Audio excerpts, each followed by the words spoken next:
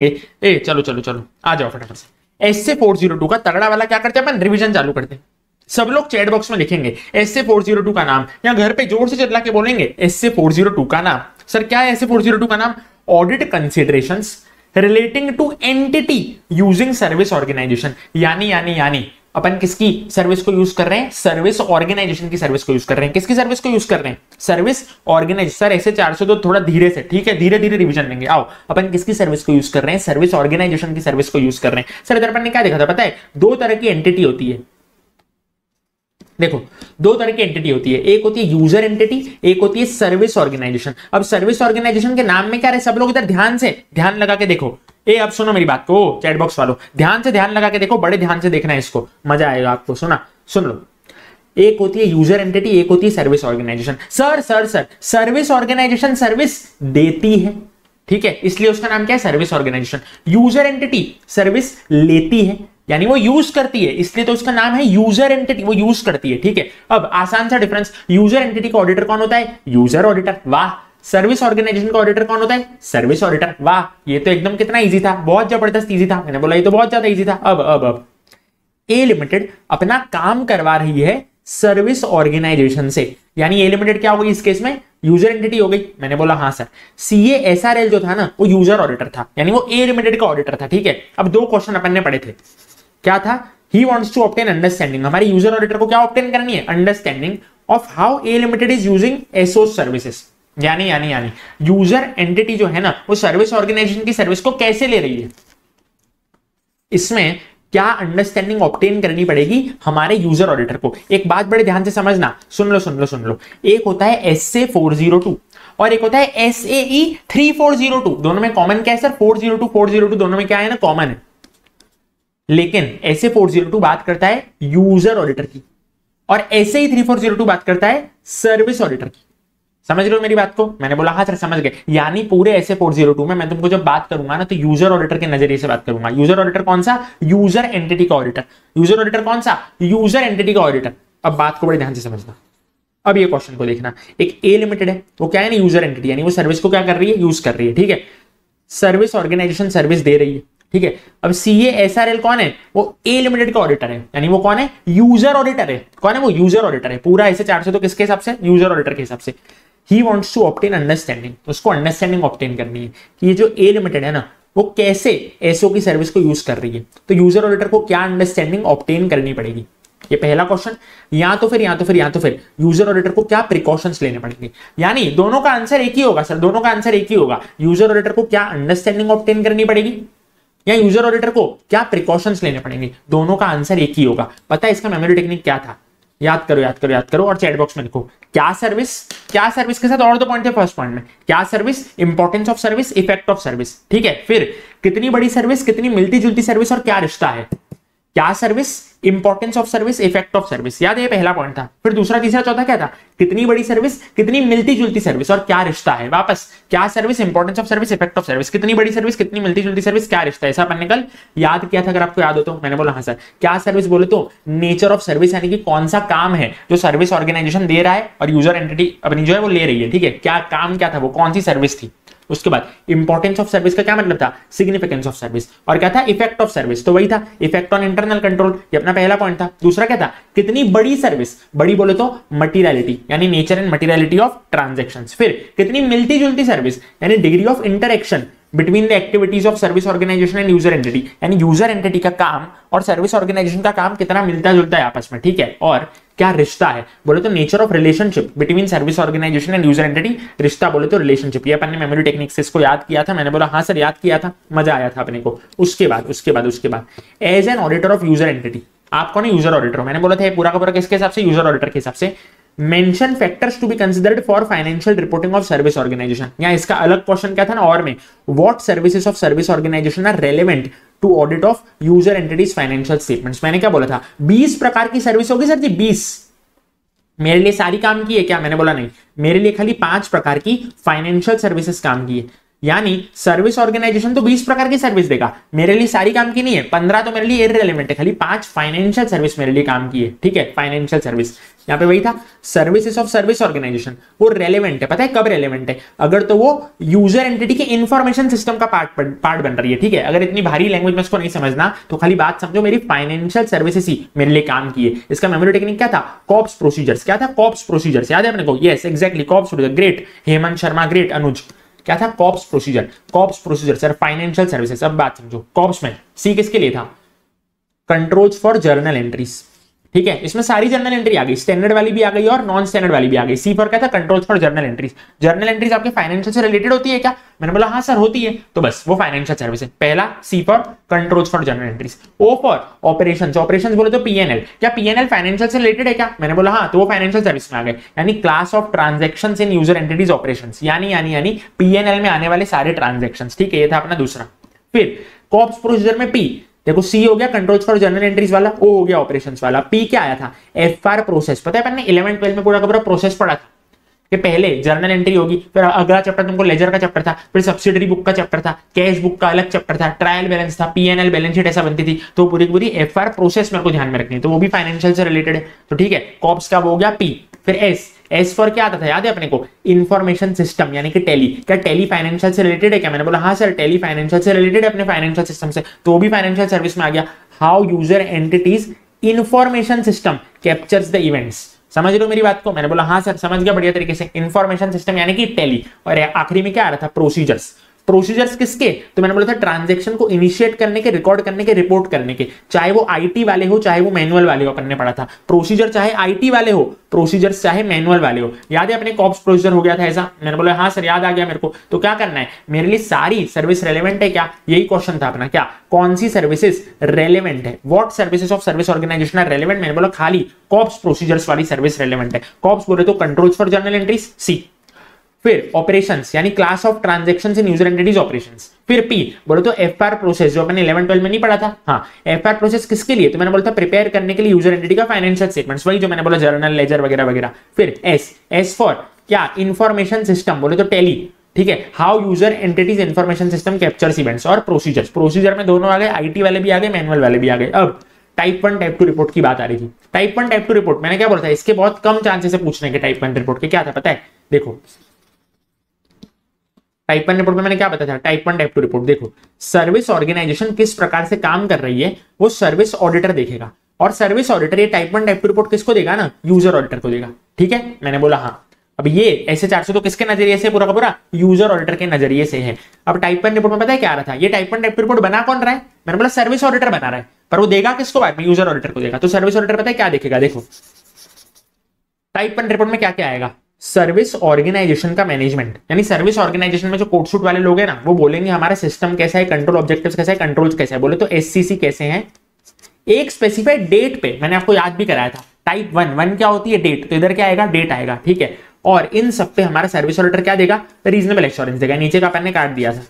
ठीक है? इन सब पे क्या देगा? रीजनेबल एश्योरेंस देगा हमारा सर्विस ऑर्डर क्योंकि एब्सोल्यूट एश्योरेंस तो कौन दे सकता है? खाली भगवान श्री कृष्ण दे सकते हैं, ठीक है? फिर अपन ने क्या पढ़ा था? Type two report type two report type two report का दूसरा नाम क्या होता है? Report on description design and operating effectiveness क्यों? क्योंकि ऑपरेटिंग इफेक्टिवनेस एक्स्ट्रा होती है टाइप टू रिपोर्ट में। अगर आपको याद हो तो मैंने बोला हाँ। देखो सेम चीज़ इधर थी सर ऊपर भी क्या था? सर्विस ऑर्गेनाइजेशन का मैनेजमेंट किसकी बात करता है एससीसी की बात कर रहा था। सेम चीज़ इधर है, देखो। सिस्टम कंट्रोल ऑब्जेक्टिव्स कंट्रोल्स मैंने बोला हाँ सर लेकिन लेकिन लेकिन, इधर एक चीज़ अलग है। क्या है? ये पीरियड की बात करता है। किसकी बात करता है? पीरियड की बात करता है। कल मैंने आपको बताया था, तीन डिफरेंस होते हैं इन टोटल टाइप वन और टाइप टू रिपोर्ट में। तीन डिफरेंस होते हैं। पहला टाइप वन किसकी बात करता है? एक की। टाइप वन वन क्या बोल रहा है? डेट तो वो डेट की बात करता है। टाइप टू किसकी बात करता है? पीरियड की बात करता है। ये था पहला डिफरेंस दूसरा डिफरेंस टाइप वन जो है ना, वो ऑपरेटिंग इफेक्टिवनेस की बात नहीं करता है। टाइप टू ऑपरेटिंग इफेक्टिवनेस की बात करता है।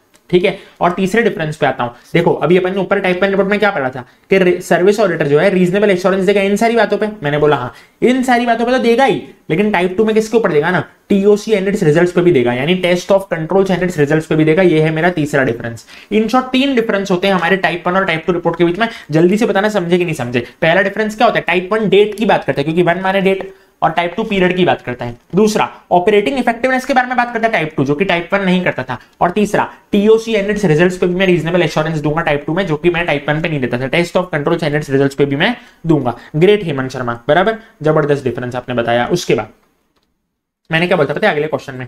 अगर यूज़र ऑडिटर अंडरस्टैंडिंग नहीं ले पा रहा है यूज़र एंटिटी से तो पता है क्या करेगा? मेरे हाथों को देखना। रिपोर्ट मंगाओ फ़ोन लगाओ खुद जाओ किसी और को भेजो। रिपोर्ट मंगाओ, फ़ोन घुमाओ, खुद जाओ किसी और को भेजो। यानी मैं क्या कर रहा था ना, सर्विस ऑडिटर से बढ़िया वाली रिपोर्ट मंगा रहा था। कौन सी? Type one, type two report. ठीक है? या तो फ़ोन घुमा रहा था। कॉन्टेक्ट कर रहा था सर्विस ऑर्गेनाइजेशन को कि भाई तू मेरे को स्पेसिफिक इन्फॉर्मेशन दे।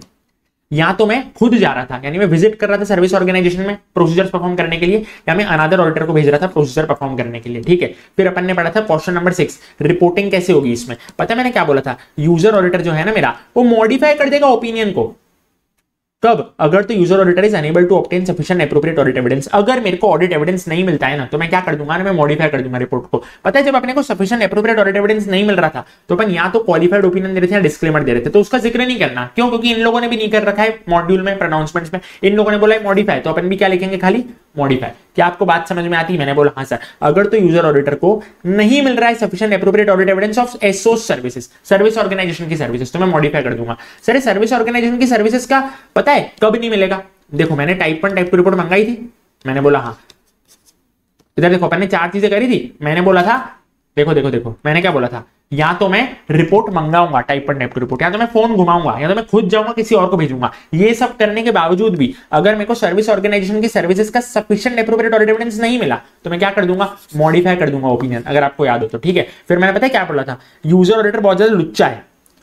यूज़र ऑडिटर बहुत ज़्यादा लुच्चा है। तो पता है उसको क्या किया था?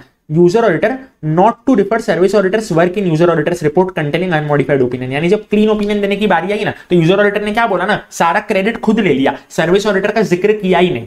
याद है अपन ने पढ़ा था यूज़र ऑडिटर ने सारा क्रेडिट खुद कर लिया सारा क्रेडिट खुद ले लिया। यूज़र ऑडिटर एक नंबर का क्या है? कमीना है एक नंबर का लुच्चा एक नंबर का हरामी है। क्या किया उसने? सारा क्रेडिट खुद ले लिया। उसने रेफर ही नहीं किया सर्विस ऑडिटर के वर्क को। लेकिन अगर लॉ रेगुलेशन आएगा ना तो, तो उसको रेफर करना पड़ेगा। यानी क्या लिखा था? अगर तो लॉ रेगुलेशन ने बोला रेफर कर तो करना पड़ेगा। लेकिन उस पर्टिकुलर केस में आपको यह भी रेफरेंस देना पड़ेगा कि यूज़र ऑडिटर की ज़िम्मेदारी कम नहीं होती है। भले मैं रेफरेंस दे रहा हूँ सर्विस ऑडिटर का।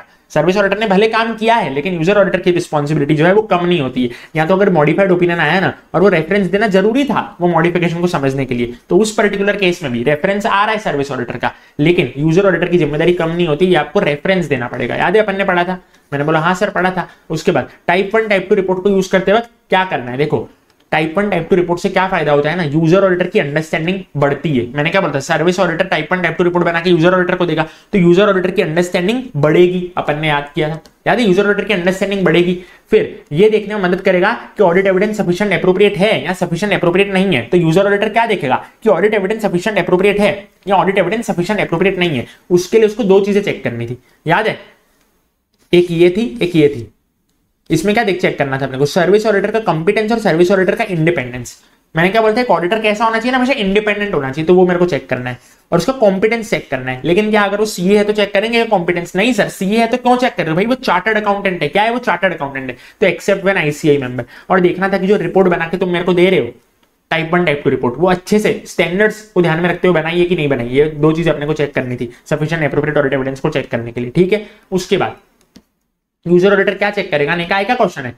जब type one type two report में मंगा रहा हूँ तो यूज़र ऑडिटर क्या क्या चीज़ें चेक करेगा? सबसे पहले यूज़र ऑडिटर जो है ना, उसकी अंडरस्टैंडिंग बढ़ेगी। वो देखेगा कि सफिशिएंट एप्रोप्रिएट ऑडिट एविडेंस मिल रहा है नहीं मिल रहा है। वो कैसे चेक करेगा? कंपिटेंस इंडिपेंडेंस चेक करेगा और देखेगा कि स्टैंडर्ड्स के हिसाब से रिपोर्ट बनाई थी या स्टैंडर्ड्स के हिसाब से रिपोर्ट नहीं बनाई थी। फिर यूज़र ऑडिटर तीन चीज़ें चेक करेगा। यूज़र ऑडिटर शेल क्या करेगा ना? चेक करेगा कि भाई, वो रिपोर्ट थी, वो टाइप वन थी या टाइप टू थी? वो कैसे चेक करेगा कि वो एट डेट थी या फॉर पीरियड थी? जो मेरे को मिली है रिपोर्ट वो एट डेट थी या पीरियड थी? एट डेट होगी तो कौन सी होगी type one report for period होगी तो वो कौन सी होगी टाइप टू रिपोर्ट इधर कुछ भी लिख सकते हो। Check whether the design description of controls बराबर था कि नहीं था। ठीक है, उसके बाद चेक करने ऑडिट एविडेंस सफिशिएंट एप्रोप्रिएट थे कि नहीं थे। और उसके बाद कॉम्प्लीमेंट्री यूज़र एंटिटी कंट्रोल्स याद अपन ने पढ़े थे कॉम्प्लीमेंट्री यूज़र एंटिटी कंट्रोल्स वो होते हैं जो कि सर्विस ऑर्गेनाइजेशन एज्यूम करता है कि ये तो बेसिक कंट्रोल है यूज़र एंटिटी ने लगाई ही होंगे ना। ठीक है तो चेक करना है कि वो complementary user entity controls relevant थे। और अगर तो हाँ तो सच में यूज़र एंटिटी ने लगाए थे? उन लोगों ने तो बोल दिया सर्विस ऑर्गेनाइजेशन ने कि यूज़र एंटिटी ने लगाए ही होंगे, पर सच में लगाए थे या नहीं लगाए थे? क्या आपको मेरी बात समझ में आ रही है? मैंने बोला हाँ सर मेरे को आपकी बात समझ में आ रही है ये कॉम्प्लीमेंट्री यूज़र एंटिटी कंट्रोल्स की डेफिनेशन थी खाली पढ़ने के लिए. उसके बाद अगला क्वेश्चन क्या था? टेस्ट ऑफ़ कंट्रोल्स का था। जब यूज़र ऑडिटर एक्सपेक्ट कर रहा है कि controls at service organization are effective he obtained sufficient appropriate audit evidence of operating effectiveness. Sir operating effectiveness मेरे को चेक करना था। ऑपरेटिंग इफेक्टिवनेस यानी कि मेरे को फटाफट से चैट बॉक्स में लिख के बताना टाइप वन रिपोर्ट की बात चल रही है या टाइप टू रिपोर्ट की बात चल रही है? जल्दी से बताना। जल्दी से मेरे को बताना। क्या लिखा हुआ है? When user auditor expects controls at service organization are effective यानी यूज़र ऑडिटर क्या बोल रहा है ना कि मेरे को देखना है कि जो कंट्रोल्स है ना सर्विस ऑर्गेनाइजेशन वो बराबर है या बराबर नहीं है? तो उसको क्या चेक करना पड़ेगा? ऑपरेटिंग इफेक्टिवनेस चेक करनी पड़ेगी। तो ऑपरेटिंग इफेक्टिवनेस तुमको क्वेश्चन लिखा ना टेस्ट ऑफ़ कंट्रोल तो तुमको पता चल जाना चाहिए कि टाइप टू रिपोर्ट की बात कर रहे हैं। एक्जैक्टली टाइप टू रिपोर्ट की। क्योंकि तो पता है टीओसी एंड इट्स रिज़ल्ट किसमें आ रहे थे? टाइप टू रिपोर्ट में ही आ रहे थे। ठीक है, मैंने क्या बोला था? देखो, ऊपर अपन ने क्या बोला था? रिपोर्ट मंगाओ फ़ोन घुमाओ, खुद जाओ किसी और को भेजो। तो मैंने बोला, इसमें से फ़ोन घुमाने वाले पॉइंट को हटा देना। खाली तीन पॉइंट बचते हैं। रिपोर्ट मंगाओ। रिपोर्ट में भी कौन सी बात कर रहा हूँ? टाइप टू वाले रिपोर्ट की बात कर रहा हूँ, क्योंकि टेस्ट ऑफ़ कंट्रोल है क्वेश्चन में, ठीक है? मैंने बोला हाँ। फिर, खुद जाओ किसी और को भेजो। यानी मैं खुद परफॉर्म करूँगा टेस्ट ऑफ़ कंट्रोल या मैं किसी और ऑडिटर को भेजूँगा टेस्ट ऑफ़ कंट्रोल परफॉर्म करने के लिए। सर टेस्ट ऑफ़ कंट्रोल क्यों बात कर रहे हो? क्वेश्चन में तुमको स्पेसिफिकली बोलेगा टेस्ट ऑफ़ कंट्रोल ठीक है? अब अगर टाइप टू रिपोर्ट है ना टाइप टू रिपोर्ट तो उसमें मेरे को चार बातें ध्यान में रखनी थी अगर आपको याद हो तो। और उसके बाद अपना एससे खत्म हो जा रहा था। चार बातें ध्यान में रखनी थी। पता है कौन सी? चेक करना था कि डिस्क्रिप्शन डिज़ाइन ऑपरेटिंग इफेक्टिवनेस एक डेट पे है या एक पीरियड पे है। मैंने क्या बोला था? टेक्निकली तो ये क्वेश्चन आना ही नहीं चाहिए। क्यों सर? क्योंकि ये पीरियड पे ही होती है। पर इन लोगों ने लिखा था तो अपन ने ये पॉइंट लिख दिया। टेक्निकली ये पॉइंट उनको डालना ही नहीं चाहिए, क्योंकि हमेशा क्या होता है ना फॉर पीरियड ही होता है। ये एक पॉइंट था, अपन जो याद किया था। फिर मेरे को क्या चेक करनी थी ना? Adequacy of time period of TOC and time elapse since TOC यानी टीओसी कब तक चल रहा है, उसका टाइम पीरियड क्या है? और आखिरी बार टीओसी कब हुआ था वो? टाइम पीरियड और टाइम इलेप्स ठीक है? उसके बाद चेक करना है, वही वाला point complementary user entity controls relevant है, और अगर तो हाँ तो सच में इंप्लीमेंट हुए हैं कि नहीं हुए और मेरे को चेक करना है कि वो जो टीओसी थे ना, वो रेलेवेंट टू एसर्शंस थे या रेलेवेंट टू एसर्शंस नहीं थे? याद है? ये अपने ऐसे 402 था। मज़ा आया कि नहीं, मज़ा आया? जल्दी से बताइए। किया किया किया किया। आओ आओ आओ। ऐसे ही थ्री फोर ज़ीरो टू को एकदम क्रिस्टल क्लियर कर दें। कुछ भी नहीं है, कुछ भी नहीं है। एकदम पप्पू एकदम पप्पू ऐसे ये तो फालतू में इसकी हवा बना के रखी मार्केट में। आओ फटाफट से। ऐसे ही थ्री फोर ज़ीरो टू को शुरू करते हैं। S A E three four zero two. सब लोग सब लोग सब लोग चैट बॉक्स में क्या बोलेंगे? S A E three four zero two. एकदम ही ईजी है, एकदम ही टेंशन लेने की ज़रूरत नहीं है। बहुत ही ज़्यादा ईजी है। पता नहीं क्यों मार्केट में सब डरते रहते हैं। आओ फटाफट से इसको अपन चालू करते हैं। देखो, एक होती है सर्विस ऑर्गेनाइजेशन आओ फटाफट से इसका रिवीजन कराऊं। एक होती है सर्विस ऑर्गेनाइजेशन जिसका ऑडिटर होता है सर्विस ऑडिटर वाह वाह वाह सर वाह वाह वाह वाह वाह वाह। एक होती है यूज़र एंटिटी जिसको ऑडिट करता है हमारा यूज़र ऑडिटर अरे वाह वाह वाह वाह सर्विस ऑर्गेनाइजेशन का सर्विस ऑडिटर यूज़र एंटिटी का यूज़र ऑडिटर इतनी बात पता चलती है? मैंने बोला हाँ पता चलती है। सर्विस ऑर्गेनाइजेशन क्या कर रही थी? सर्विस देती है रे। यूज़र एंटिटी सर्विस लेती है। यानी कि यूज़ करती है। मैंने बोला हाँ सर, समझ गए। सर्विस ऑर्गेनाइजेशन के इंटरनल कंट्रोल पे रिपोर्ट बनाएगा उसका सर्विस ऑडिटर और देगा वो किसको? यूज़र ऑडिटर को। इस रिपोर्ट को पता है क्या बोल रहे थे? Type one report, type two report. क्या आपको याद आया? क्या आपके दिमाग के तार खुले कि नहीं खुले? बस यही थे basics of SE three four zero two अब अपन रेडी है SE three four zero two का धमाकेदार रिविजन करने के लिए। फटाफट से सब लोग चैट बॉक्स में लिखेंगे S A three four zero two का नाम। या घर पे ज़ोर से चिल्ला के बोलेंगे S A three four zero two का नाम। ए भाई वॉइस आ रहा है। ऐसे ही थ्री फोर ज़ीरो टू का नाम आ रहा है ना भाइयों वॉइस ओ, भाइयों बहनों। बस यही वॉइस प्रॉपर है, बिल्कुल। ऐसे ही थ्री फोर ज़ीरो का नाम सब लोग ज़ोर से चिल्ला के बोलेंगे। Assurance reports on controls at service organization sir assurance report शब्द का प्रयोग किया गया है ऑडिट का नहीं, क्योंकि हम एस e पढ़ रहे हैं। स्टैंडर्ड ऑन एश्योरेंस एंगेजमेंट ठीक है? मैंने बोला हाँ सर समझ गए। On controls at service organization यानी मेरे को इंटरनल कंट्रोल कहाँ के देखने सर्विस ऑर्गेनाइजेशन के देखने यूज़र एंटिटी के नहीं देखने objective of service auditor irrelevant भाड़ में गया, तेल लेने गया, हट निकल। Type one type two report भाड़ में गया, तेल लेने गया, हट निकल। क्योंकि ये सारा का सारा पानी किधर पढ़ लिया है? एस से चार सौ दो में पढ़ लिया है। क्या तुमको बात पता चलती है? मैंने बोला हाँ सर, बात पता चलती है। Sir type one type two report के डिफरेंस को समझा दोगे क्या? अच्छी तरीके से, मैंने बोला, बिल्कुल समझा दूँगा। देखो देखो देखो type one type two report में तीन डिफरेंस होते हैं। याद करो याद करो याद करो बच्चों, याद करो याद करो याद करो। Type one type two report के तीन डिफरेंस तुम ही मेरे को बताओगे। पहला टाइप वन रिपोर्ट बात करती है डेट की, क्योंकि वो एक होती है भाई डेट एक होती है। टाइप टू किसकी बात करती है? पीरियड की। वाह वाह वाह सर ज़बरदस्त ज़बरदस्त ज़बरदस्त। दूसरा टाइप टू रिपोर्ट पता है किसकी बात करता है? ऑपरेटिंग इफेक्टिवनेस की भी बात करता है भाइयों, जो कि टाइप वन रिपोर्ट करता ही नहीं है।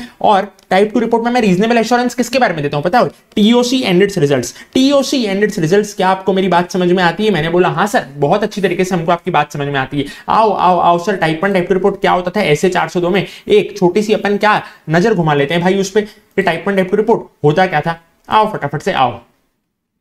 तुमको ऐसा नहीं लगना चाहिए कि भाई, हम तो देख ही नहीं रहे। हम लोग देखेंगे एस से 402 में से देखेंगे डबल डबल जगह से अपन नहीं देखेंगे, ठीक है? ऐसा नहीं करेंगे कि ऐसे 402 में से भी देख लिया ऐसे ही 3402 में से भी देख लिया, पोपट लाल वाली हरकतें अपन नहीं करते, ठीक है? मैंने बोला हाँ टाइप वन रिपोर्ट में। डिस्क्रिप्शन बाय मैनेजमेंट ऑफ़ कौन? अब सर्विस ऑर्गेनाइजेशन का देखना इंटरनल कंट्रोल किसका चेक करना है? सर्विस ऑर्गेनाइजेशन का। क्या पता है? एससीसी सब लोग चैट बॉक्स भर देंगे एस सी बोले तो सिस्टम कैसा है? कंट्रोल ऑब्जेक्टिव कैसे? कंट्रोल कैसे है? ठीक है? मैंने बोला हाँ। डिज़ाइन इंप्लीमेंटेड कब? तो मैंने बोला, एक डेट पे। भाई टाइप वन रिपोर्ट बोल रहा है वो, एक एक। टाइप वन रिपोर्ट बोले तो डेट ठीक है? मैंने बोला हाँ। इधर सर्विस ऑडिटर दे रहा है रीजनेबल एश्योरेंस के एब्सोल्यूट एश्योरेंस अबे भगवान श्री कृष्ण थोड़ी अपन के रीजनेबल के एब्सोल्यूट देंगे। अपन क्या देंगे? रीजनेबल अपन मनुष्य है भाई। रीजनेबल एश्योरेंस ही देना है अपनी औकात है, अपन एब्सोल्यूट एश्योरेंस तक नहीं पहुँच सकते। किस पे? उस पे भाई एससीसी पे ही दे रहा है, ठीक है? कुछ दिमाग लगाने की ज़रूरत पड़ी, मैंने बोला, नहीं सर, कुछ दिमाग लगाने की ज़रूरत ही नहीं पड़ी। अब अब अब आता है टाइप टू रिपोर्ट जिसको मैं क्या बोलता हूँ? Report on description design and operating effectiveness वाह sir operating effectiveness of controls ठीक है? मैंने बोला हाँ इधर, क्या बात चलेगी? इधर भी बात चलेगी एससीसी की, मैंने हाँ सब लोग चैटबॉक्स में वापस भर देंगे। S, C C. उसका वापस से डिज़ाइन इंप्लीमेंटेशन लेकिन लेकिन लेकिन लेकिन कब? पीरियड भाइयों टाइप टू में पीरियड ये देखो अपन ने काट दिया था। चल, निकल, ये सब। हट हट हट। क्या बोल रहा हूँ? पीरियड पीरियड पीरियड दूसरा इधर किसकी बात करनी है? ऑपरेटिंग इफेक्टिवनेस की भी बात करनी है। और रीजनेबल एश्योरेंस इधर भी मैं दूँगा, जैसे टाइपर में दे रहा था। और इन सारी बातों पर तो दे ही रहा था। टीओसी एंड इट्स रिजल्ट्स पे भी दूँगा। क्या आपको बात पता चलती है? नहीं पता चलती। मैंने बोला, बिल्कुल अच्छी तरीके से पता चलती है। यानी टाइप वन रिपोर्ट में सेम टू सेम यही आएगा। खाली ये डेट काट के टाइप टू रिपोर्ट में क्या आएगा? Same to same type one report वाला। डिक्टो डिक्टो छापना। खाली डेट काट के पीरियड मारना। प्लस करके इधर ऑपरेटिंग इफेक्टिवनेस का ज़िक्र करना। और रीजनेबल एश्योरेंस में प्लस करके टीओसी एंड इट्स रिजल्ट्स का ज़िक्र करना। मैंने बोला आवाज़ सरवा कुछ इसमें तो दिमाग लगाने की ज़रूरत ही नहीं पड़ी। मैंने बोला, भाई, एकदम ईजी है। कुछ दिमाग लगाने की तुमको ज़रूरत है ही नहीं। तुमको दिमाग लगाने की ज़रूरत है ही नहीं। क्या तुमको मज़ा आया या मज़ा नहीं आया? मैंने बोला हाँ सर, मज़ा आ गया यहाँ तक तो। अब how such engagement is proceeded with ये एंगेजमेंट को कैसे प्रोसीड करेंगे? मैंने बोला, एकदम जनरल आंसर लेके चलने का भाई, तुम्हारे लिमिटेड दिमाग में तुम कितने सब्जेक्ट घुसाओगे, कितने क्वेश्चन घुसाओगे? एकदम ही नॉर्मल नॉर्मल जो अभी तक अपन ने पढ़ा। एस से 210 में एक्सेप्टेंस अपन ने पढ़ा। मैंने बोला हाँ। एस से 320 की मटेरियलिटी वाली बात ले ली। मैंने बोला हाँ। सिस्टम कंट्रोल कंट्रोल ऑब्जेक्टिव्स के तीन पॉइंट ले लेने के ऑपरेटिंग इफेक्टिवनेस ले लेने का टाइप टू रिपोर्ट में। क्या बात पता चलती है? मैंने बोला हाँ हो गए चार पाँच पॉइंट बस वही तो उन लोगों ने किया है। देख लो देख लो देख लो। एक ले लिया, देखो इन लोगों ने point complaints with ethical requirements जो अपन ने एसक्यूसी वन में नहीं पढ़ते एथिकल रिक्वायरमेंट हाँ एसक्यूसी वन का चलो एक पॉइंट बना दिया, कोई टेंशन नहीं है। उसके बाद एक्सेप्टेंस का एक पॉइंट बना दिया, जो ऐसे दो सौ दस में एक्सेप्टेंस आता है। मैंने बोला, ठीक है, चलो उसका एक पॉइंट बना देंगे। मटीरियलिटी का एक पॉइंट बना दिया, बोले तो ऐसे तीन सौ का एक पॉइंट बना दिया। मैंने बोला, ठीक है, चलो उसका एक पॉइंट बना देंगे। और एस सी सी बोले तो सिस्टम कैसा है? कंट्रोल कैसा है? कंट्रोल ऑब्जेक्टिव कैसे उस पर भी तुम एक पॉइंट बना के आ जाना control objective S C C पे एक पॉइंट बना दिया। और टाइप टू रिपोर्ट के केस में ऑपरेटिंग इफेक्टिवनेस कैसा है? ठीक है? Obtaining evidence of operating effectiveness क्या तुमको बात पता चलती एकदम जनरल जनरल आंसर ऐसे 210 का एक पॉइंट छाप के आ गया, ऐसे 320 का पॉइंट छाप के आ गया। एससीसी का मन से बना दिया। सिस्टम कैसा है? कंट्रोल कैसे है? कंट्रोल ऑब्जेक्टिव कैसे और operating effectiveness in case of type two report भाई टाइप वन रिपोर्ट में मत लिख जाना ऑपरेटिंग इफेक्टिवनेस मैंने बोला, समझ गए सर समझ गए? अगला अगला अगला। इस पे बन सकता है अलग से सवाल और ये तुमको सता सकता है एग्ज़ाम में। अलग से क्वेश्चन किस पे बनेगा? रिटर्न रिप्रेजेंटेशन भाइयों रिटर्न रिप्रेजेंटेशन चल, तू मेरे को लिख के दे। अबे, तू मेरे को लिख के दे। सर्विस ऑडिटर बोलेगा कि तू मेरे को लिख के दे। किसको बोलेगा, पता है? सर्विस ऑर्गेनाइजेशन के मैनेजमेंट को बोलेगा। भाई रिटर्न रिप्रेजेंटेशन तो मैनेजमेंट से मांगते हैं ना? मैंने बोला हाँ क्या लिख के दे? पता है, क्या लिख के दे? देख। देखो देखो देखो, क्या लिख के दे। मैं, पता है, उसको क्या लिख के दे रहा था? मैं मेरी गर्लफ्रेंड को लिख के दे रहा था कि देख भाई मैं है ना बहुत अच्छा लड़का हूँ। मैं उसको बार बार रीएफर्म कर रहा था कि मेरा सिस्टम बहुत अच्छा है, मैं बहुत अच्छा लड़का हूँ। भाई, मैं बहुत अच्छा लड़का हूँ। मैं उसको बोल रहा था कि देख ले मेरा फ़ोन मैंने तेरे से कुछ भी छुपाया नहीं है। देख ले मेरी सारी इन्फॉर्मेशन देख ले तेरे को और किसी लड़की का नंबर नहीं मिलेगा मेरे फ़ोन में। मेरे फ़ोन में तेरे को किसी भी दूसरी लड़की का नंबर नहीं मिलेगा। मेरी ज़िंदगी में खाली तू ही है। मैंने उसको बताया था हाँ। और मैंने डिस्क्लोज किया था। मैंने उसको क्या किया था? मैंने उसको डिस्क्लोज किया था। Non compliance with laws regulation मैंने बोला, देख, मैंने ना पिछले ही हफ़्ते तेरा फ़ोन का पासवर्ड खोला था तो मैंने देखो, कांड किया तो सामने से बोल दिया। कांड किया था नॉन कंप्लायंस किया था, सामने से बोल दिया। ठीक है, कुछ दिक्कतें थी तो सामने से बता दी थी क्या आपको बात पता चलती है? Design deficiencies in control internal control में कुछ दिक्कतें हो तो सामने से बता दो, सर, सामने से बता दो। Instances where controls not operated मैंने बोला, भाई, ऐसे तो नहीं चलेगा। ऐसे तो नहीं चलेगा, ऐसे तो अपना रिश्ता क्या है? ऑपरेट नहीं होने वाला, क्योंकि आगे चल के सब्सिक्वेंट इवेंट्स ये दिक्कतें आएँगी। अगर ऐसा ही चलता रहा ना तो आगे चल के दिक्कतें आएगी। मैंने उसको यही सारी बात बताई। मैंने बोला, बस, वही का वही सेम टू सेम आपको रिटर्न रिप्रेजेंटेशन करके देना है। रिटर्न रिप्रेजेंटेशन कौन किसको देता है? मैंने बोला मैनेजमेंट देता है ऑडिटर को। सर्विस ऑर्गेनाइजेशन देगा, हमारे सर्विस ऑडिटर को। बताए क्या? रीएफर्म करेगा assertion company description of system मैं उसको रीएफर्म कर रहा था ना, मेरा सिस्टम अच्छा है। तो यहाँ पे भी जो सर्विस ऑर्गेनाइजेशन का मैनेजमेंट है, वो रीएफर्म करेगा कि भाई सिस्टम हमारा अच्छा है। क्या है? सिस्टम हमारा अच्छा है रीएफर्म करेगा सिस्टम के बारे में सिस्टम के बारे में सिस्टम के बारे में। एलविश भाई को याद करो सिस्टम के बारे में, उसके बाद। There it is provided service auditor with all info मैंने बता दिया था ना कि देख ले मेरा फ़ोन मेरे फ़ोन में किसी भी लड़की का नंबर नहीं, तेरे अलावा किसी भी लड़की का नंबर नहीं। बस वही बोल रहा है ऑल इन्फॉर्मेशन का मैंने तेरे को क्या दे दिया एक्सेस दे दिया है। मैंने तेरे को ऑल इन्फॉर्मेशन और एक्सेस दे दिया है, ठीक है? और उसके बाद क्या बोलूँगा ना सर्विस ऑर्गेनाइजेशन का मैनेजमेंट क्या बोलेगा? कि मैंने डिस्क्लोज कर दिया सर्विस ऑडिटर को नॉन कंप्लायंस विद लॉज और रेगुलेशन और फ्रॉड मैंने पता है? मैंने उसके फ़ोन का पासवर्ड तोड़ दिया था। यानी नॉन कंप्लायंस किया था। मैंने फ्रॉड करा था ना तो मैंने बोल दिया था तो ये लोग भी सामने से बोल देंगे। कोच भी डिज़ाइन डेफिशिएंसी थी इंटरनल कंट्रोल में, मैंने उसको बोल दिया था। देखो, ये बोल देंगे डिज़ाइन डेफिशिएंसी इन कंट्रोल्स मैंने बोला था, दिक्कतें आएँगी रिश्ते में।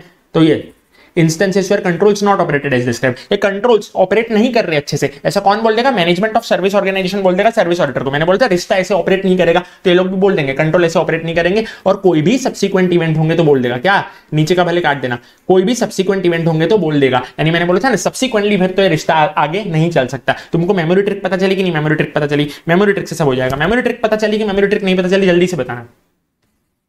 मैंने बोला, भाई, ऐसे तो रिश्ता अपना नहीं चल सकता है, आगे सब्सिक्वेंटली तो बस इन लोगों ने भी सब्सिक्वेंट इवेंट दे दिए। क्या पता चला मेमोरी ट्रिक जल्दी से मेरे को बताना।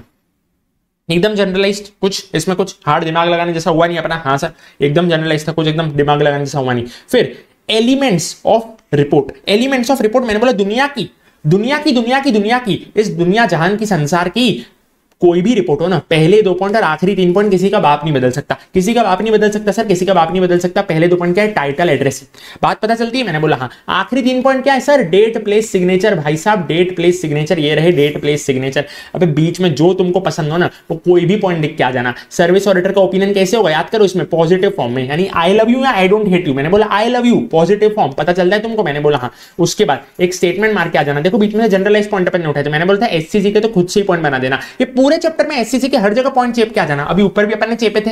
House of engagement is proceeded with उसमें हाँ। ऑपरेटिंग इफेक्टिवनेस का चेप देना। टाइप टू रिपोर्ट में। मैंने बोला हाँ सर, चेप देंगे, कोई टेंशन नहीं है। फिर भी क्या लिखना? देखो टाइप वन रिपोर्ट में ऑपरेटिंग इफेक्टिवनेस की बात ही नहीं होती, इसलिए मैं ओपिनियन ही नहीं दूँगा। ज़ाहिर सी बात है, वो टाइप टू रिपोर्ट की बात है ऑपरेटिंग इफेक्टिवनेस की। फिर एक स्टेटमेंट दे देना है। देखो, ये भी सब में कॉमन है। एक स्टेटमेंट दे देना कि एंगेजमेंट ऐसे ही थ्री फोर ज़ीरो टू के हिसाब से, ठीक है? मैं जब सारे अपने एस ऐसे ही हो जाएँगे तो इसका भी तुमको चार्ट बना के दे दूँगा तो इसकी भी टेंशन लेने की ज़रूरत नहीं है। एकदम जनरलाइज आंसर लेके चलेंगे, ठीक है? फिर स्टेटमेंट देना कि सर्विस ऑडिटर की किसकी किसकी रिस्पॉन्सिबिलिटी है? मैंने बोला एससीसी के ऊपर रिस्पॉन्सिबिलिटी है, ठीक है? टाइप टू रिपोर्ट के केस में ऑपरेटिंग इफेक्टिवनेस यानी भाई एससीसी प्लस ऑपरेटिंग इफेक्टिवनेस ज़्यादा टेंशन लेने की ज़रूरत नहीं है जनरलाइज आंसर लेकर के चलना है। और देखो, फिर ये वाला स्टेटमेंट कि ये जो मैं बना रहा हूँ किसके लिए type one type two report खाली किसके लिए जनरल पब्लिक के लिए, भाई यूज़र एंटिटी यूज़र ऑडिटर के लिए मैं बना रहा हूँ, क्योंकि ये सर्विस ऑडिटर बना के किसको देने वाला है? अब भाई यूज़र ऑडिटर को देगा ना? यूज़र ऑडिटर को देगा type one type two report तो बाहर पब्लिक के लिए थोड़ी जनता जनार्दन के लिए नहीं बना रहा हूँ मैं, जनता जनार्दन के लिए नहीं। No no no only for only for only for user auditor ठीक है? क्या बात पता चलती है? मैंने बोला हाँ तीन चार पॉइंट अपन ने बीच में से उठाए थे। कुछ ऐसा लोड लेने वाली बात नहीं। कैसे तीन चार पॉइंट तो मैंने बोला, देखो, एक तो एससीसी का पॉइंट तुमने बना के लिख दिया। मैंने बोला हाँ। दूसरा बोल दिया जनरल पब्लिक के लिए नहीं है। किसके लिए? यूज़र एंटिटी के लिए यूज़र ऑडिटर के लिए। फिर पॉजिटिव फॉर्म में जाएगी रिपोर्ट मैंने बोला हाँ सर पॉजिटिव फॉर्म में जाएगी। हो गए तीन पॉइंट अपने, बस, कोई टेंशन वेंशन लेने की ज़रूरत है ही नहीं। और ऊपर के दो और नीचे के तीन हो तो सेम ही रहते ही है, ठीक है?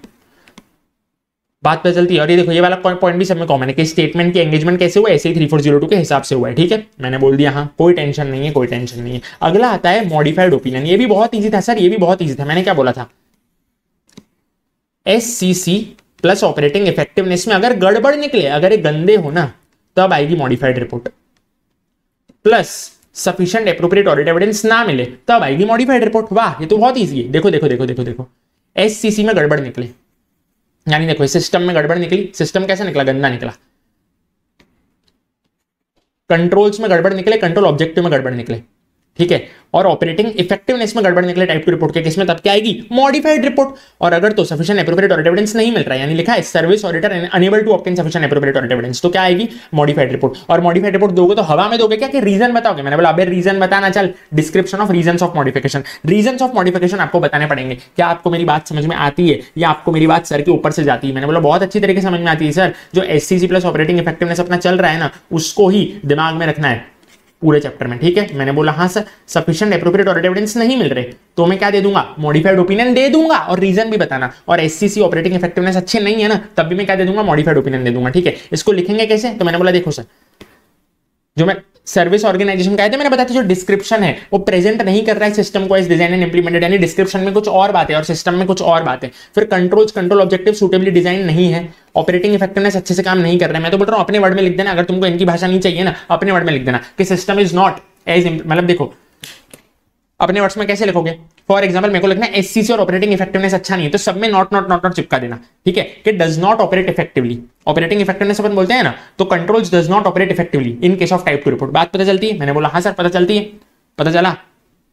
Controls were not appropriately design and implemented system was not appropriately design and implemented ऐसा अपने वर्ड में लिख सकते हो? मैंने बोला हाँ सर अपने वर्ड में लिख सकते हैं। अब आती है type two report type two report के केस में एडिशनल रिपोर्टिंग क्या होगी? मैंने बोला, बहुत आसान है सर टाइप टू रिपोर्ट के केस में सेपरेट सेक्शन बनेगा टीओसी एंड इट्स रिजल्ट्स का. अरे, वो तो अपन एस से चार सौ दो से पढ़ते हुए आ रहे हैं। एस से चार सौ दो से पढ़ते हुए आ रहे हैं। तो बहुत ईजी है। अब अब अब, कल पता है अपन डांडिया खेला था, डांडिया। कल पहले डांडिया खेलते अपन dandiya TOC and its results आप बोल रहे हो टेस्ट ऑफ़ कंट्रोल एंड मतलब टेस्ट ऑफ़ कंट्रोल आप बोल रहे हो तो कौन से टेस्ट ऑफ़ कंट्रोल आज अपन डांडिया खेलता कौन से टेस्ट ऑफ़ कंट्रोल कितने कंट्रोल कैसे कंट्रोल कौन कौन से कंट्रोल कितने कंट्रोल कैसे कंट्रोल सब लोग घर पे डांडिया खेलेंगे कौन से कंट्रोल कितने कंट्रोल कैसे कंट्रोल कौन से कंट्रोल कितने कंट्रोल कैसे कंट्रोल कौन से कितने कैसे कौन से कितने कैसे बस वही है कौन से कंट्रोल भाई विच कंट्रोल कितने कंट्रोल ऑल या सिलेक्टेड और कैसे कंट्रोल नेचर ऑफ़ टेस्ट याद है कल डांडिया खेला था कौन से कंट्रोल कितने कंट्रोल कैसे कंट्रोल कौन से कंट्रोल कितने कंट्रोल कैसे कंट्रोल बस वही अगर डिविएशन है ना डिविएशन तो डिविएशन में बताना पड़ेगा कि भाई कितना सैंपल साइज़ आपने लिया था।